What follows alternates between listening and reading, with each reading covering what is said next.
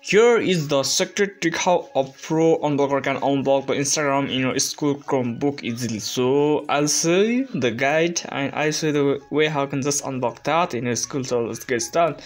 So first here you need to click on the link in the description of this video. Now here you can find the list of the unblockers. Now let me show you how you can just do that. Just copy the URL. Here you can see. Let me test this second one then go to the new tab then here you need to paste this url and hit enter then wait for it to load then you can see it's currently connecting to the server so wait for it to connect to the server and after the connection is success here you need to scroll down a little bit. Here you can see and here you can see the url bar. Then here you need to type instagram instagram.com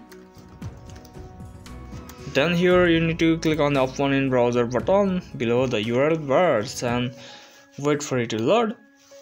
Then boom the instagram is loaded successfully. Now here you need to click on the login button and it will redirect you to the login page of the instagram. Now here you can log in to your instagram account easily and browse the instagram freely without any issues. That's the technique how you can unblock instagram in your school.